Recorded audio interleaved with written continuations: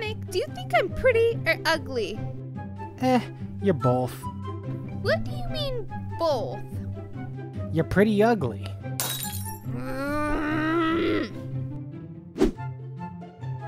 Well, I better go home now. Catch you later, Tails.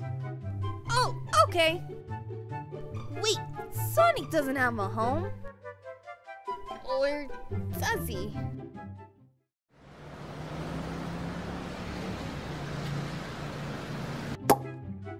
Hey, neighbor. Ah, what a nice day for a walk. Now all I need is my... Sonic! Oh, Sonic, I'm so glad you're here! Ah! You're... you're not Sonic. No, it's me, Mario.